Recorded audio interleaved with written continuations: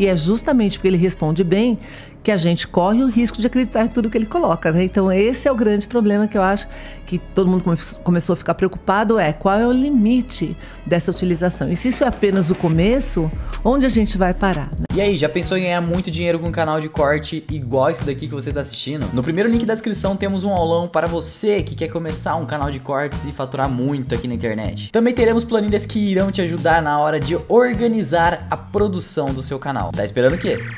Hoje as principais ferramentas que a gente estava falando é, de inteligência artificial que estão que a galera tá bom, tá, tá correndo atrás, tá usando pra cacete. ChatGPT, Midjourney. O Midjourney funciona tipo o ChatGPT? Ele, ele, pega a base que o ChatGPT faz eventualmente e cria a imagem. O, o Midjourney é para criar imagens. Então você pode colocar ali entradas textuais que pode ter vindo do ChatGPT ou você entrou com aquilo para ele trazer. Então ele tem uma base de dados grande também de imagens, onde ele compõe, junta, faz qual que provavelmente fica melhor com o que e traz isso esteticamente. O, o princípio é o mesmo. Ele consegue fazer é. coisas impressionantes ali, cara. Sim, eu já vi tudo gente com seis dedos e outras distorções. Cara, é mas eu é já criativo. Vi... Então, de novo, por que, que ele faz dedos com... É, pessoas com seis dedos. Da mesma forma que ele escreve o nome do meu livro errado. É, uma ferramenta criativa. Ela não tem é um que compromisso. a palavra criativo é boazinha, entendeu? Criativo parece assim, eu tive uma grande ideia. Eu tive uma grande ideia, fazer as pessoas com os dedos tudo torto, esquisito. Isso, mas...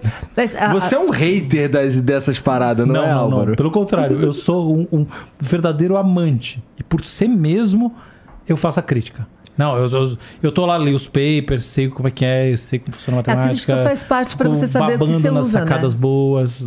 É, a crítica é fundamental para você saber o limite daquilo que você está usando. Para que que realmente Não, aquilo criando, serve. Então eu quero publicar o, o próximo paper, tá então criando. eu tenho que fazer... É, a crítica ele tá criando, Mas aí, ó, tem um monte de artista. Lembra, meu doutorado é em artes, então uhum. o pessoal de artes é meu povo, né? Quando começou essa história de usa, todo mundo pode usar e criar como artista, os artistas ficaram loucos. Por quê? Muito do que foi usado para aprendizagem dessas ferramentas é o que outras pessoas criaram. E aí quem disse que eles deram permissão para que seja usado para a criação disso? E ninguém está ligando a mínima. E, e, quando você vê lá na, na, na, utilização, aquilo que você criou é seu. Então a mesma coisa com o texto. Se você pegar no Google já há muitos anos em qualquer buscador, eu posso ter um arquivo na internet que eu coloco uma tag e falo isso não é para ser indexado por buscador nenhum. E eles respeitam. Ah, é? Ah, opa. E isso não entra na indexação, não é para ser indexado. O que, que acontece? Isso não existe no chat GPT, isso não, não existe Midjourney, não existe nenhuma delas. Então, se ele pode pegar tudo e pode ver tudo, ele está avançando na criação de um monte de gente. Qual é o problema disso? Eu até acho, tem até um documentário que é, que é incrível, que chama Everything is, is Remix. A gente não não surge do nada a nossa criatividade. A nossa criatividade é baseada num monte de coisa que a gente aprendeu a vida inteira.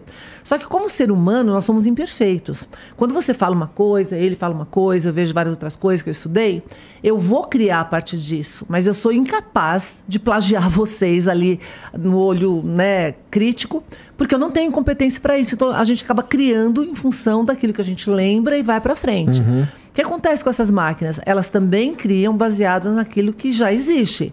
Só que elas Só têm uma capacidade fulminante de pegar um volume gigante e ipsis literis elas podem combinar. Então, isso traz um problema que nunca existiu na humanidade. Como é que a gente lida com isso? Isso vai incentivar ou vai piorar a, a criatividade das pessoas? Quando você pega na parte de arte, é pior ainda, porque ainda na parte de texto tem a questão do direito autoral, etc. Mas a arte tem aquela outra dimensão que o cara fez especificamente para causar um sentimento, uma impressão, etc. e tal. E aí, o que, que os artistas estão fazendo para tentar combater isso?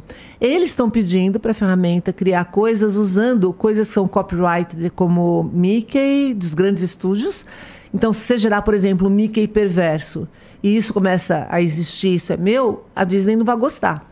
Para que os grandes estúdios comecem a fazer pressão numa regulamentação da criação de alguma tag para você é, poder dizer isso não é uma coisa que é para ser é, colocada na aprendizado de máquina. Uhum. E aí uhum. também tem que fazer um alerta para quem está usando o chat GPT, não coloque dados sensíveis ou informações classified, né, sigilosas, na ferramenta, porque ela está aberta para aprender. Você não sabe para onde que isso vai e se isso vai ser utilizado de alguma forma. Daqui a pouquinho, uma coisa que você tem que é sigilosa da sua organização ou é algo que não é para, ou ainda é inédito no caso de papers, você coloca para ele validar ou para ele melhorar o inglês ou para ele fazer alguma coisa diferente e você está contribuindo com aquilo de, em algum grau. Então, de novo, tem que tirar a ingenuidade no uso dessas ferramentas e entender como elas funcionam. Entendi. Porra. Sobre o lance do, do, dos artistas e tal, e de pressão pra, pra regulamentar isso tudo aí, cara, eu realmente não sei o que pensar. Minha, na verdade, a minha primeira reação é. Porra, cara, não sei se precisa. Afinal, é, tudo que o robô consegue fazer é copiar, é, é imitar. Não, não, não. Ele, que... ele, reconstrói, ele faz um Não, mix. tudo bem, mas ele faz um mix de algo, coisas que já existem e tal, não é? Então, ele sim, não é mas... capaz de criar uma mas parada. Mas o que é criar, não. muitas vezes, se não recombinar? É, é mixar, isso que eu ia falar. O Ah. que, que, que é criatividade? É isso mesmo. muitas vezes a criatividade é, mera, é mera recombinação. É. Esse texto que ele gera, na verdade, essa maneira que ele tem de, de aprender consigo mesmo e tal, ah, isso tá limitado ao que a gente permite com que ele aprenda, não é? Como assim? Ah, não tem risco dele aprender demais e, e- e Me explica o que você quer dizer com virar Skynet e matar todo não, mundo. é tipo aprender o que você não é, orientou ele para aprender, certo? É isso que você está perguntando. Você está dizendo em termos de modalidade? Em que sentido? Eu tô dizendo assim, vamos lá. Eu tô te provocando porque assim, olha Tá. só, vamos lá. É, é, o, o, o chat GPT consegue gerar imagem? Não. Não. Ele consegue gerar Mas uma... ele poderia gerar imagem? Ele só não gera imagem por causa da interface? É por quê? Não, não, não é por causa da interface. É o seguinte: é, o, o, o, a o- o output dele é um output textual, entendeu? Então, esse é o problema, tá? Então, ele não é multimodal. Tá tão surgindo agora, dizem que o GPT-4, que é a próxima versão, é, vai ser multimodal. Eu acho que ela vai ser, no máximo, parcialmente multimodal, porque tem dif- diferenças muito grandes na construção de imagem, texto e, sobretudo, assim, a coisa mais desejada hoje em dia não é nem imagem nem texto, é vídeo. Tá? É poder escrever um prompt falar, faça um vídeo assim, assim, assim. Essa para mim vai ser a grande. Mas, enfim, é, que é audiovisual, portanto, é a imagem com o texto. Mas, de qualquer maneira, a ideia do, do- dele trazer uma coisa ou outra está determinada por essa interface que ele. Não é bem interface, mas é o formato de conversão dele. Ele converte tudo em tokens que são palavras. Ou seja, a abstração numérica que está ali dentro é uma abstração que vai ser convertida nas palavras que estão existentes na internet. É- Aham. é isso, entendeu? Então, portanto, ele não é capaz de fazer algo multimodal. Outra coisa é o seguinte: o aprendizado dele tem existe alguma coisa nas funções matemáticas do aprendizado que limitam, que dão um teto para o aprendizado? Não, não, não, não é. Agora, isso significa então que ele tem uma capacidade indefinida de aprender? Também não. Por quê? Porque a capacidade de aprender está determinada em si pelos próprios limites do algoritmo. O algoritmo tem uma lógica, por exemplo, a lógica desse algoritmo é de previsão da próxima palavra. Você só tem determinadas coisas que você pode fazer pensando na próxima palavra. A gente não pensa pensando na próxima palavra. A gente cria modelos mentais da realidade. Existem diferenças para o bem e para o mal. Então, ah, entende? É nesse aspecto muito mais das limitações ontológicas, ou seja, essenciais dessas implementações, ou seja, dessas regrinhas de pensamento, que estão as limitações. Mas não há nenhum limite para o aprendizado em si. O aprendizado é dado pela exposição e pelo que a gente chama de parâmetros. Por exemplo, se eu ponho muito dado, mas ele tem poucos parâmetros, pouca capacidade de absorção, a partir de determinado ponto bate um teto, e que sempre bate o teto, mas o teto é baixo e acabou. Se eu tenho muito parâmetro e eu ponho pouco dado, ele cospe o negócio todo errado. Então sempre tem que ter uma- um equilíbrio, sempre o- o- proporcionalmente mais dado que parâmetro. Mas isso são só coisas internas, não existe um limite para o aprendizado. É que nem eu dizer assim, tem um limite para o aprendizado do cérebro humano? Não tem. É ter o limite da, da, da vida e da capacidade de, de que a gente tem de armazenamento subs- é, É, mas- simultâneo sem sobrescrever uma coisa. Mas é só eu, isso. Eu, eu- eu posso falar. um- a gente está falando de chat GPT, mas se a gente falar das IAs, machine learning, que já existiam, por exemplo, ah, já aconteceu, acontece num hospital é, psiquiátrico, não lembro o nome do hospital, com o Watson na época. O Watson foi treinado e tem resultados muito bons para detecção de, de câncer. Por quê? Porque câncer tem muito dado, então você se expõe, expõe ele bastante aos dados, ele aprende com os médicos, então o resultado que ele tem vai sendo corrigido, né, as anotações pelos humanos, ele começa a aprender e a partir dali ele vai descobrindo mais padrões e foi. Ele começou a ser usado em psiquiatria. E em psiquiatria, não tem tanta informação quanto tem em câncer. Tá. Só que ele foi aprendendo padrões e chegou a um ponto que nesse hospital ele tem melhor prognóstico, ele consegue diagnosticar melhor na realidade do que os médicos e ninguém sabe por quê, ou seja, como ele aprendeu. Então, o que ele tá, o que o Álvaro está dizendo e que a gente está dizendo aqui é, você tem uma base inicial que é como ele nasce. E eu, eu brinco, né, eu sempre dou esse exemplo que imagina que você tem um filho, né? Ele vem já com uma capacidade de aprender com o DNA seu e da sua esposa. E aí você ensina um monte de coisa para ele. A gente vai ensinando de acordo com a cultura familiar. Mas quando ele vai para o mundo, ele é exposto a várias outras fontes de conhecimento e ele começa a aprender e criar algo que você não programou para que ele fizesse aquilo. Então ele tem os limites do DNA, o nosso cérebro tem isso. Ele tem a- base inicial que dá direcionamento, mas ele continua aprendendo ao longo da vida a partir dessas capacidades que ele tem.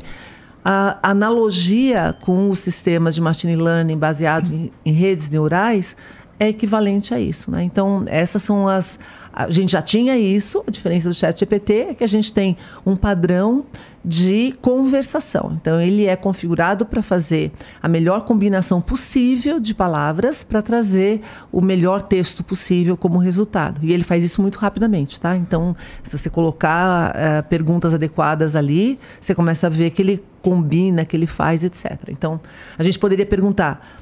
É, então, qual é o risco disso? Primeiro que ele não traz fonte, né? Então, ele aprendeu com esse monte de dados em tudo quanto é lugar e ele não traz fonte. Essa é a diferença fundamental entre você usar. Ele não é uma ferramenta informacional, ele é uma ferramenta criativa, generativa.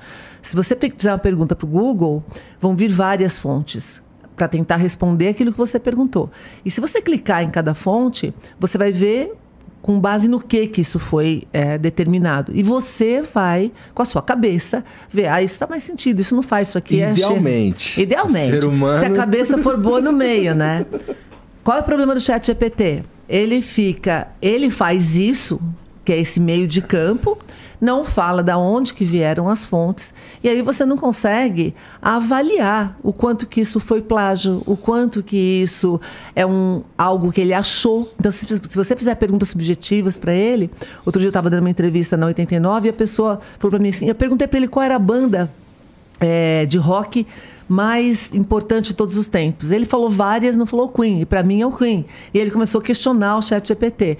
Pois é, se você perguntar isso pro Google, ele vai te trazer, eventualmente, Queen, vai te trazer Nirvana, vai tra- e vai dizer quem foi que avaliou aquilo, por causa do que, que isso foi considerado, quais são os critérios. Então, a gente tem que lembrar que o chat GPT é uma ferramenta criativa. Então, você saber que tipo de IA você está usando é fundamental para você acreditar ou não ou utilizar esses resultados na sua tomada de decisão. Essa, essa IA 2.0 que você está chamando, ela não tem o poder de impacto de transformador que a internet tem. Ou tem? Maior. É mesmo? Maior. A gente está vivendo a ponta do iceberg de uma revolução cognitiva gigantesca, talvez provavelmente a maior da história, né? Se a gente pensar, a gente já passou por algumas revoluções cognitivas muito importantes. O livro foi uma delas, não sei se Uhum. delas, né? A internet, depois do livro, ela a gente teve a renascença no meio do caminho, ok, mas em termos de atingir muita gente, a internet teve o mesmo efeito, né? Você começa a ter conhecimento para todo mundo o tempo todo, etc e tal. Agora você tem uma inteligência que te ajuda, uma inteligência que ainda está no começo, que te ajuda a fazer muito mais rapidamente vários trabalhos cognitivos, né? E é justamente porque ele responde bem que a gente corre o risco de acreditar em tudo que ele coloca, né? Então esse é o grande problema que eu acho que todo mundo come- começou a ficar preocupado é qual é o limite dessa utilização. E se isso é apenas o começo, onde a gente vai parar, né?